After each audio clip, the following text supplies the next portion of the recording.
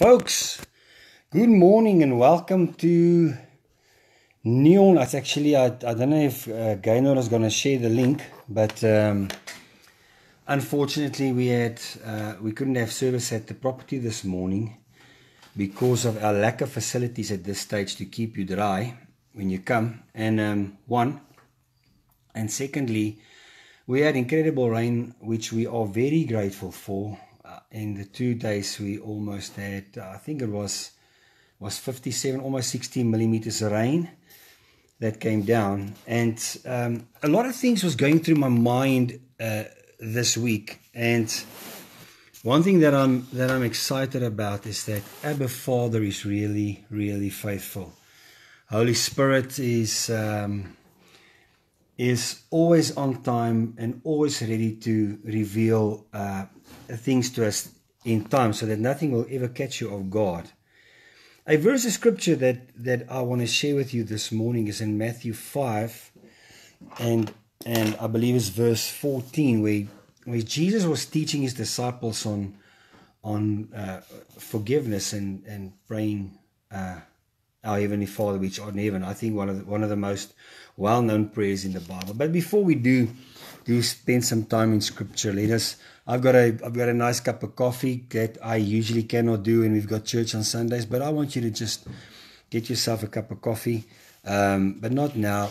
Let's just um, pray. Father, thank you that we know that you're a loving Father. You're an you're absolutely an incredible God, and thank you that you are the only God that can give us that can give peace. All the other gods are not able to give peace. And thank you that the peace that surpasses all understanding will flood our hearts and our minds if we are in Christ Jesus. Thank you that you reminded me this week that you've never seen the righteous forsaken or their offspring begging for bread. Thank you that you've also reminded me that greater is he that is for the church than he that is against the church. And this morning, I just want to bless somebody listening to me, and, and I pray, Holy Spirit, that you would just take control of my lips. Whatever flows out of my mouth, that it will just have an effect on someone's life. I thank you for it in Jesus' name. Amen. I was thinking of um, Israel when they found themselves between the the Egyptian army and the sea, and the feeling that they had in their hearts in that moment when they saw the enemy coming with chariots and a mighty army. And on the other side of them is is an impos- is an impossibility. There's no ways that we can get through this and we're going to die. A lot of times we find ourselves in a place where we believe that um, uh, sometimes people even believe that God has tricked them into that position. Is it Lord, is this what you was this what you've done to me? Is this what was this your purpose from the start? That you would bring me to this place and and so that I can die here? Is this is this my end? And I want to bless you this morning with this word that's in my spirit. And let me tell you something. Um, if it was up to flesh, I would not be preaching to you this morning. Um, but I'm grateful that I'm I'm I'm I, most of the time I allow myself to be led by the Spirit and not by my emotions. So I wanted to share this word with you, and I trust that Abba Father will just uh, bless this to your heart. You might say, what has this got to do with Matthew 6.14, where Jesus was saying, for if you forgive uh, someone their trespasses, your Father in heaven will forgive your trespasses. And you'll say, what has this got to do with Israel being between um, the Egyptian army and the sea?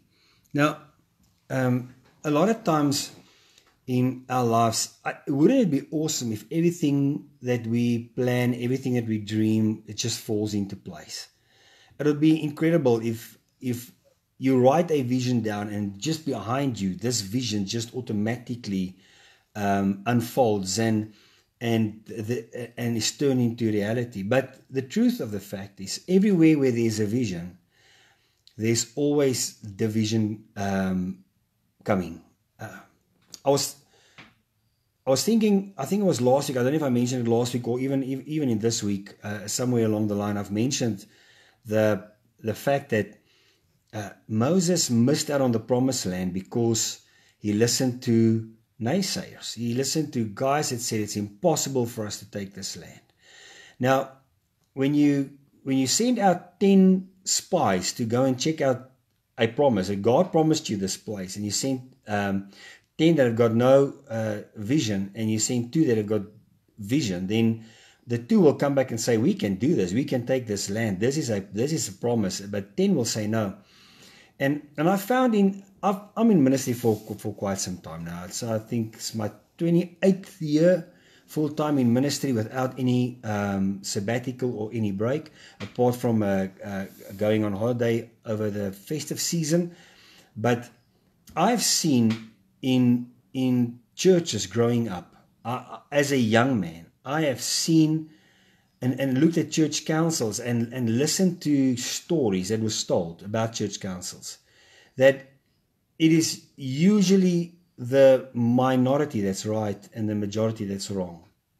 But the minority can also be wrong and the majority can be correct. But um, one of the things that I believe, and maybe if you're a minister and you're listening to me, I want you to, to take, uh, take note of this that if God called you to lead, lead.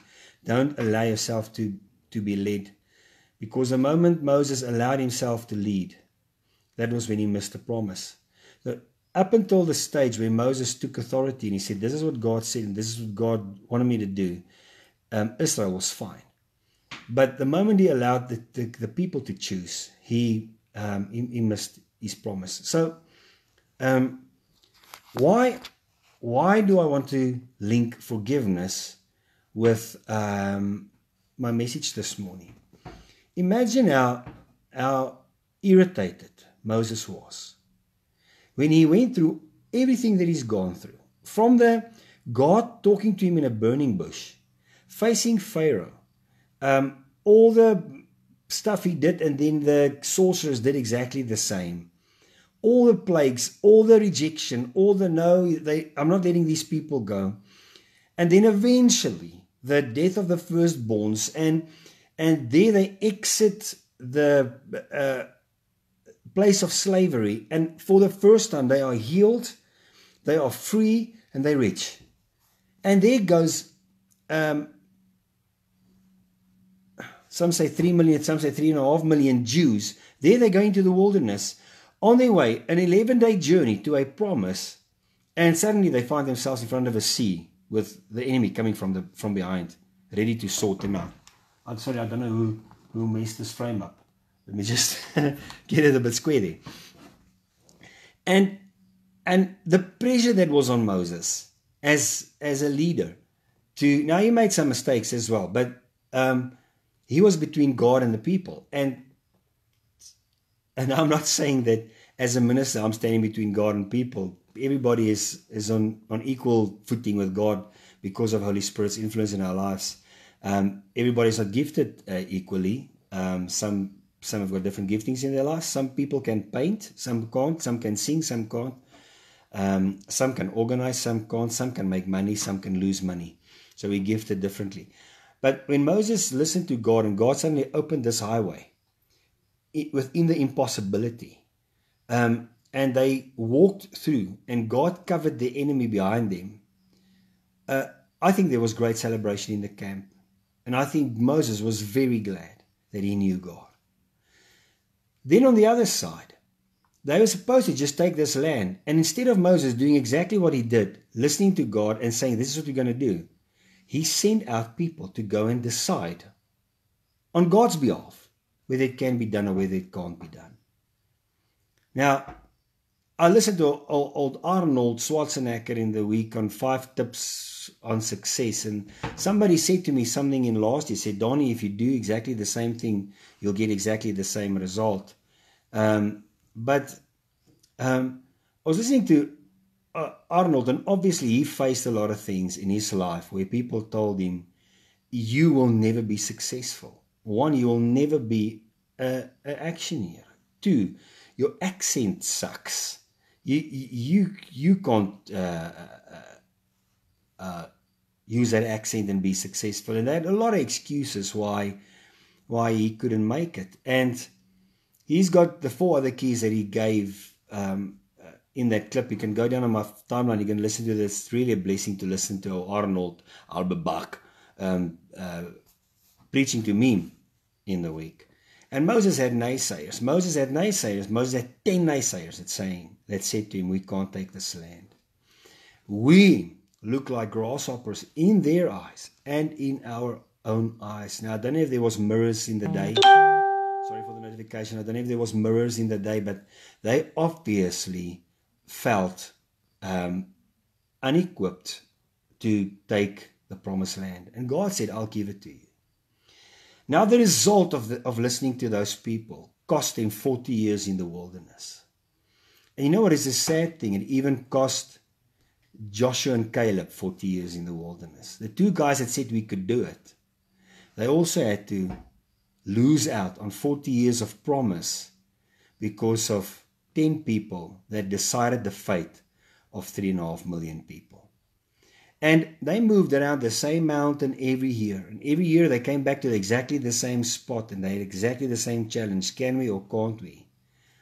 Until their generation of unbelievers died out and God made it possible. But I think Moses was miffed, if I can use the terminology. And sorry, it's not it's not pulpit language, but I think Moses was seriously irritated. He's gone through all the hassles. He said, Lord, I ate manna and quails for 40 years of my life. And now I can't go into the promised land and eat milk and honey. And, and by the way, I'm the pastor. I'm the leader of the group or the apostle or whatever your title is. And how often do people miss out on destiny and greatness in seasons because they listen to someone else saying it can't be done? At times, there's people saying things can't be done, and they are sent by God with a specific purpose to, to stop you from making mistakes. But that you need to discern that on on your own. Now, let me. I think Moses had an. Uh, I think Moses had this. Moses must have had this feeling of unforgiveness in his heart towards himself for first of all listening to these guys, and secondly to these guys that had so little faith that they could actually take this land. So Moses most probably sat with bitterness in his heart for spending 40 years in a wilderness where he could have spent the prime of his life in a land of milk and honey. Um, we were just standing around the, the, the table this morning, me and Tashai, and, and we were talking, and I said to her, one of the secrets, my one of the secret things I believe in life is that um, if somebody offends you, you um, you should not make that personal. Always remember who stands behind the curtains. Now, when I preached on this many years back, on the if you forgive, you will be forgiven. If you don't forgive, your Father in heaven will not forgive you in Matthew 6. I remember preaching this because it was in the New Testament, yet it was still solidly Old Covenant. It was before the cross. I remember teaching on this as a condition of forgiveness. That God cannot forgive you unless you are willing to forgive someone else. Now, that is not the truth. In the law, in the law system, it was an eye for an eye and a tooth for a tooth. So you forgive, I forgive, you don't forgive, I don't forgive. And we know that Hebrews makes it clear that there's no forgiveness of sins unless there's shedding of blood. So it's obviously not just a, a simple act of me saying, okay, I forgive A, B, and C, so now God will forgive me my A, B, and C's. Um, because Hebrews makes it clear that without the shedding of blood, there is no forgiveness of sins.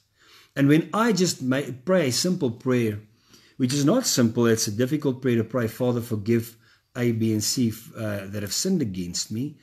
Um, when I pray that prayer, there's no shedding of blood, so there's no forgiveness of sins. But in the law, in the context where Jesus was teaching this, he, he, he knew the consequence of the law. If you do, I do. If you don't, I do. I can't. It's not that God don't want to. Is that the law has specific rules and regulations. Now you might interpret this differently. You might say, Donnie, you're completely off your rocker. You just take a cup of coffee. Should I give him my coffee, but I just I want you to think about a couple of things quickly before um, I close this uh, this just life uh, fellowship. One, the weapons of our warfare are not carnal. Think about this. So, carnal meaning flesh. So, if there's a battle in your life, if there is an Egypt behind you and a uh, impossibility in front of you, um, ask yourself the following question uh, Do you believe God is able to do exceedingly abundantly more than you can ever think or imagine? God is able. I want you to, to, to think about a couple of things while, while I'm while I'm sharing what I'm sharing with you this morning. The weapons of your warfare is not Egypt behind you. You see, the Pharaoh of the day and his armies was considered the enemy, but the actual enemy was a spiritual enemy that worked in the heart of Pharaoh to wipe the, the Jewish people and God's promise of the earth. And um, so if there's a promise in your life or something that, that a dream that God has given you, and somebody stands up against that dream, don't ever take it personal. Don't ever look at that. Don't ever frame that person's face in a room in your heart called bitterness. Don't ever do that. Because when you do that, you miss out on beautiful things in your in your own life.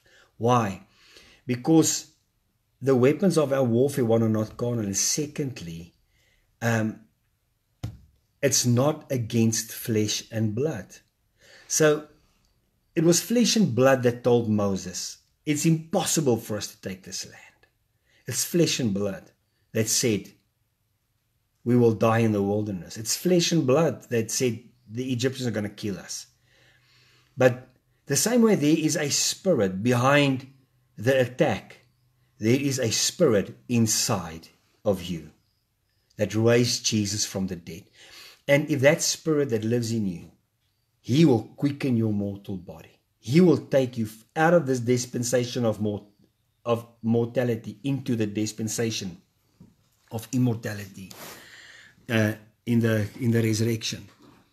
I God spoke to me this morning, and and I used to think that if I don't forgive the person that sinned against me, then God's holding this grudge against me. And one day when I die, I'll stand before God. God will say, Sorry, man. You know how desperately I wanted to forgive you, but because you didn't forgive A, B, and C, the following I, I had to hold against your name, I'm very sorry. You're not going to come into heaven. Um, you've disqualified yourself. Now, God made him who knew no sin to become sin for us so that we could become the righteousness of God in Christ Jesus. God reconciled us unto himself by not imputing our sins and has given us the ministry of reconciliation. So that is our ministry. The ministry is to reconcile yourself with those that are against you. Now, let me tell you how you do that. One, um, most of the time when when somebody's when somebody's coming against you, it would not have benefited Moses to go to the Egyptian army and try to, to sort out a plea bargain with the Egyptian army. He would have had himself killed. So, um, let me just give you this spiritual advice. Confronting somebody that, that stands up against you is not gonna is not gonna solve problems. First thing it's gonna do, it's gonna mess it up even more somebody's going to get killed in the in the in this fight. You need to listen to what God is saying through me now. What Moses did, Moses went to God, and that's what you need to do. If there's an army behind you and is trying to take your promise away from you, your answer is in the presence of God. Now, now, presence of God is religiously made um, a secret place up in the heavens, and you need to shout in order to get God's attention. No. God's spirit lives right inside of you. So you can find a place where you sit down and you get and you get and you get yourself to be quiet before the Lord and you listen and clearly to what God is saying to where you need to go from here. If God tells you go and confront the Pharaoh, then you do that. But if God doesn't say that, then you don't. God always knows best. You know why? Because God is not emotionally involved in your emotions. God is not influenced by our will, our lusts, and our desires, and the things that we want, and the things that we want um, selfishly, and we do not um, want to see someone else um, uh, gain A, B, and C uh, above me. That's all my selfishness. So when you take time and you go and sit in the presence of Abba Father and you listen to the voice of the Holy Spirit, and sometimes it'll take you some time to listen to his voice because um, you know that God didn't immediately give Moses the advice. God first placed fire between the armies and and the people to keep them away, to keep them away from actually reaching the Jewish people. And sometimes in your life, if you need to, you need to ask the fire of the Holy Spirit to come in between you and the thing that comes against you, and say, Father, just, just burn away the chaff. In the end, people, there's two things that will happen in the decision that you make. One, relationships will be built or relationships will be destroyed. For, for, for you to build relationships, you need to listen to what God is saying to you and not to what man is saying to you. And you need to write that vision down. You need to make sure that God, that's what God said. Imagine the people when Moses came back and said, You see this rod? I am going to hit this ocean with this rod. Imagine the what? What are you smoking, Moses, man? Um, how in the heck in the world do you think hitting the water with a gonna is gonna make a way for us? And then God, God, God can use a small, minute, insignificant way to solve a problem if you don't become part of the problem. Don't become, don't fight your Pharaoh. Don't fight the armies. Don't throw sand in their eyes. Peanut butter is not going to help you in this um, scenario. For those of you that are South Africans and what's the peanut butter ad? Um, it's going to help you in this scenario, man. You need to listen to what God is saying to you in that moment, and that's what you need to do. And sometimes you, it'll take you a, a while to to clearly hear God's voice. And you know what the voice of the Lord will do? The voice of God will immediately take your face off, um, your focus off the face of Pharaoh. It will immediately place your focus back on the promise. That is what I promised you. Your way towards your promise is through this through the sea. It's not fighting your a battle against uh, Pharaoh. And God made a way for them where there was no way. And God has done that in the past, and God will do it for you again. I'm prophesying over your life. God is able to do exceedingly abundantly more than you can ever dream or imagine if you listen to His voice and not allow yourself to be led by your emotions. You know that your emotions can be a spy in your life. Your emotions can completely come against God's plan for your life. And yet, God is God can see where no man can see, and God will not bring you to a place and abandon you there. You need to listen to me this morning. He will not do that. God is supernatural and He's able. He's never lost His ability. And you know what's the beautiful thing about God? We, God made a way in an old covenant where Holy Spirit wasn't an indwelling spirit. He made a way for Shadrach, Meshach, and Abednego. He made a way for Daniel in the lion's den. He made a way for Gideon. He made a way for, for Samson and for David and for Samuel. And God, God made a way in a dispensation where Holy Spirit wasn't an indwelling spirit.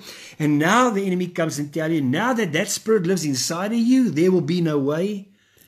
I don't care how big the army is that is behind you. I don't care how big the nose is that is behind you. And uh, it is impossible to do that. And God's not going to come through for you. I don't care how big it is. If God tells you He's going to take you there and you stick with what He told you, you will get there. But please don't waste 40 years of your life in a wilderness scenario because you lend your ears out to people without vision. You lend your ears out to people that see giants instead of a giant God. Don't step into that into that uh, trap. It'll mess. It will mess. It'll, it'll sorry waste years of your life. So one, don't fight Pharaoh. Two, There is a spirit behind Pharaoh that's trying to destroy what God wants to do in your life and what God has promised you. So, yes, the enemy will use a Pharaoh. Yes, he will use somebody that, you know what Moses and Pharaoh was brothers? They, they were raised in the same house. He was, Moses was raised in royalty. He and Pharaoh was most probably best buddies. This, and later on, the same Pharaoh wanted to kill him. Why? Because the enemy will use your brother against you. He will use your sister. He will use your mom, your dad. He will use your boss. He will use somebody that's close to you. He'll even use a spouse against you to destroy the promise that God's got concern, concerning your life. Don't frame the face of the Pharaoh and place it in bitterness inside your heart. But speak over Pharaoh's life prosperity. Say, Father, I thank you that you love Pharaoh the same way you love me and that you want to prosper him or her the same way you want to prosper me. And you get your clear answer from God what you need to do concerning your tomorrow. And your Abba Daddy will come through for you. And if he doesn't come through for you, then I'm a liar and this entire Bible is a lie. Now let me close with this. Matthew 6:14 where it says if you don't forgive your father in heaven cannot forgive you as Old Covenant written in the New Testament. The New Testament forgiveness is as I have forgiven you, so you forgive now. How did He forgive us? He forgave us unconditionally. Now, you know what? It's so easy to sit and write things down that people have done against you, and you, you lose track for a second of what you've done against God. You know, you don't have to forgive me if I don't sin against you. And I always tested friendship, not in the braais we have together.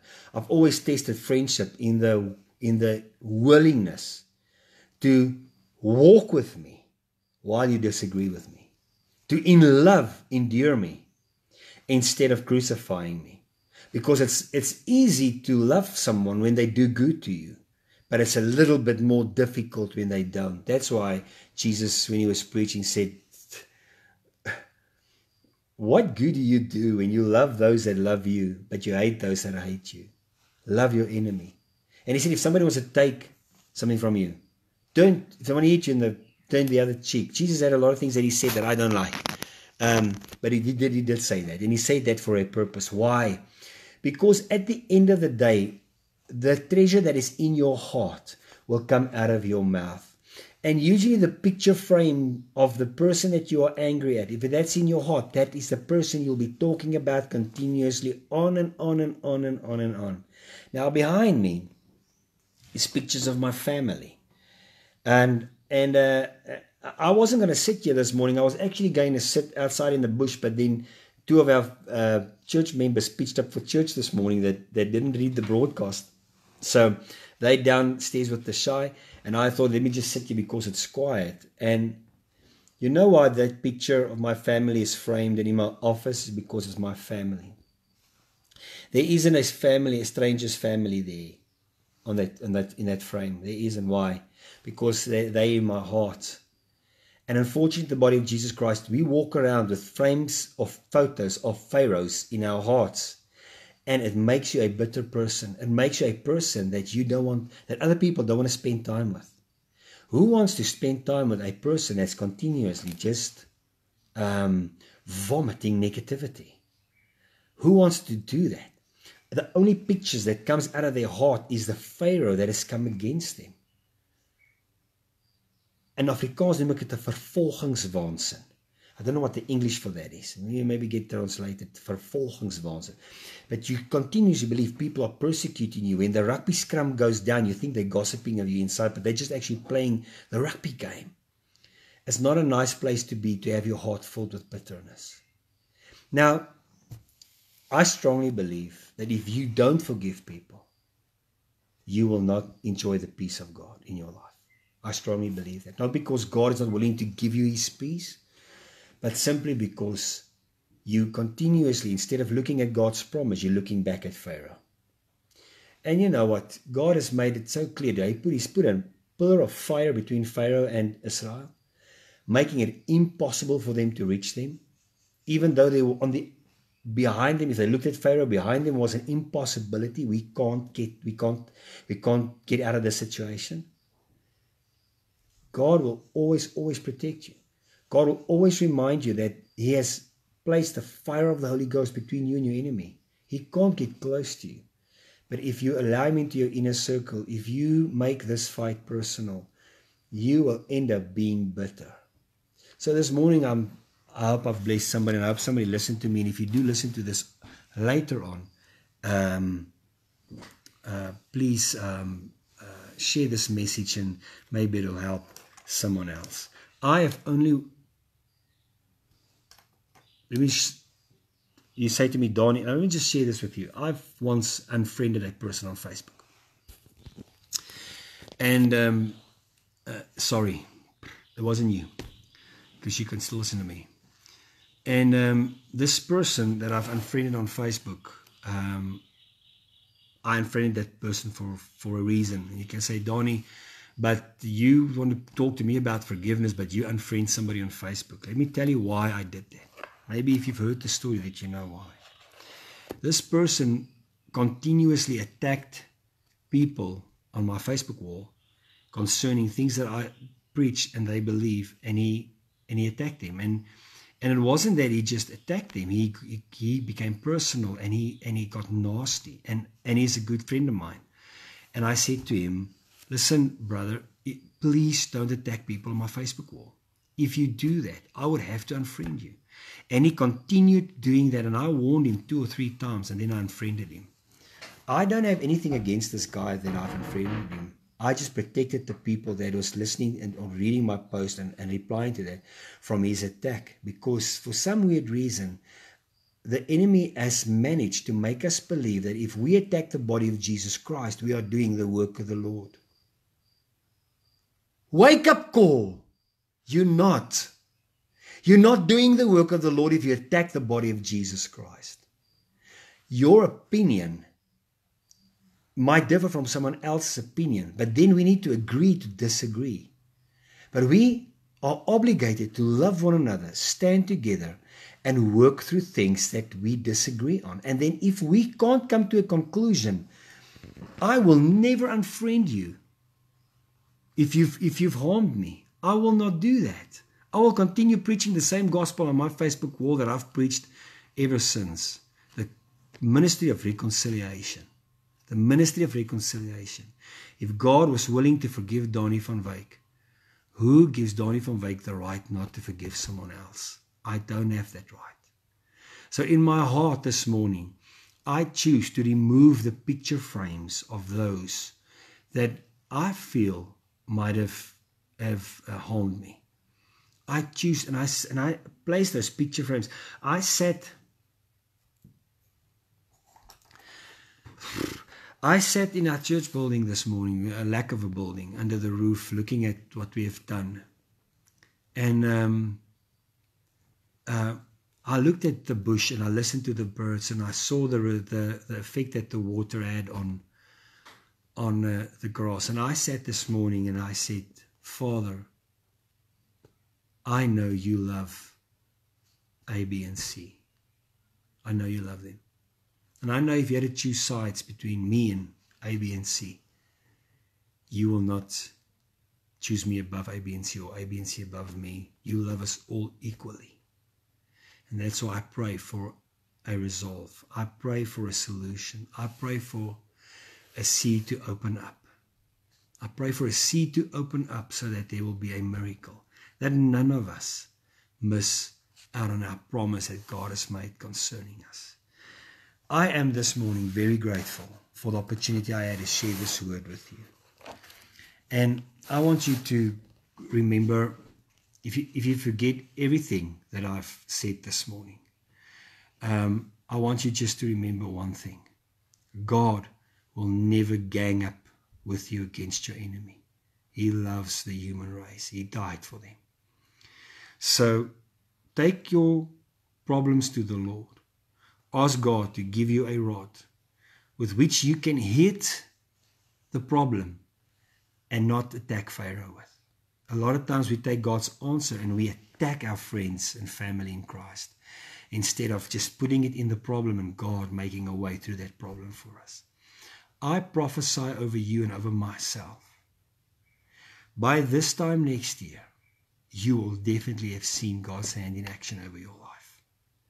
If you choose to listen to His voice and not take your opinion and gang up against somebody.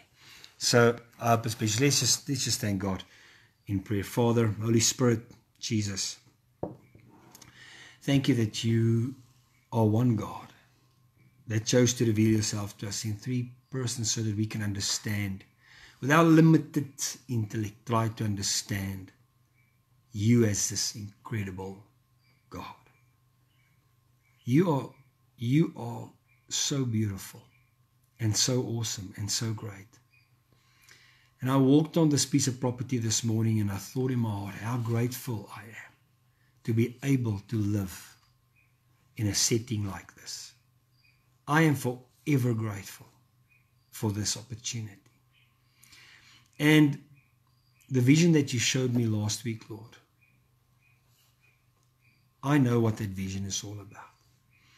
And I thank you this morning that I'm not praying about my own situation. I'm praying for those that have listened to me this morning that really needed to hear this word. I am praying that if they take that staff and attack Pharaoh, you, we are not called to take the promise of God and attack people with it. We are called to take the promise of God and force the problem out of the way. And Father, our battle is not against flesh and blood. There's stuff in the background that's trying to destroy unity and God's heart and God's plan for the body of Jesus Christ. This morning I'm grateful for forgiveness. I'm grateful that when Jesus died,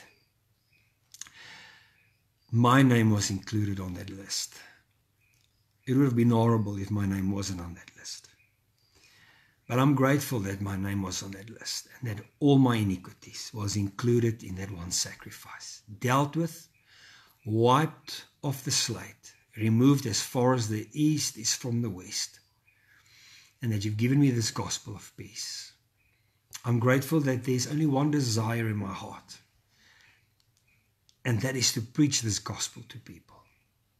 I don't have any other desire my heart. For 27 years last year, 28 years this year, that's the only desire I've got is to preach your love to people. And and I pray that I will not frame faces in a chamber in my heart that will cause me to be bitter.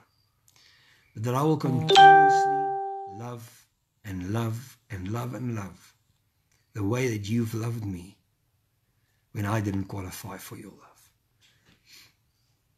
You didn't have to forgive me if I wasn't found guilty. And you couldn't declare me innocent if there wasn't evidence against me. So there was evidence against me. That's why I was guilty. And that's why an innocent lamb was slaughtered so that I could enjoy the freedom of my, my relationship with you. So, for the people that are listening to me this morning, that have got picture frames in their hearts of people that have harmed them and that they are holding against, maybe it's a spouse, maybe it's a child, maybe it's a dad or a loved one or somebody close to you that has really, really, really hurt you. I want you this morning to take that frame out of your heart. Take that picture frame out of your heart. And I want you to start praying for that person and pray for the blessing of that person's life. And put that picture in another chamber in your heart that is part of your favorites. I give you praise, Holy Spirit, for your influence in our lives. I give you praise for this word that you gave me. The face that I saw on my phone preaching was my own face. I've got no idea who listened to me, but I just just preached a pretty awesome sermon to Danie van Wyk. And you better listen, Danie, to what God is saying to you.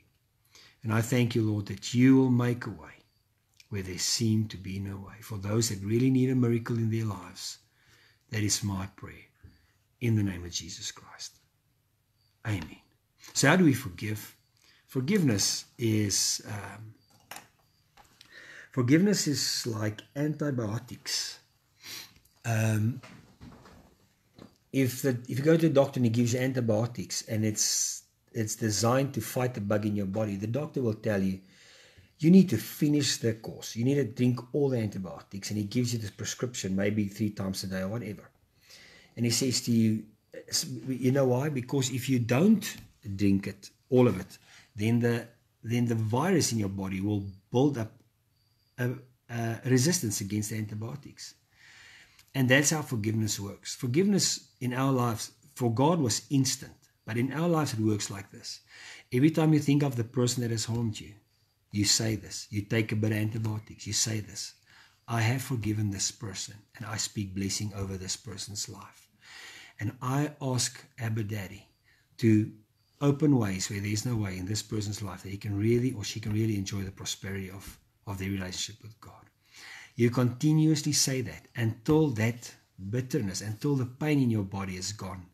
Then you can throw the empty bottle away. Forgiveness is powerful. I know why to share this message to me, look, looking in my face.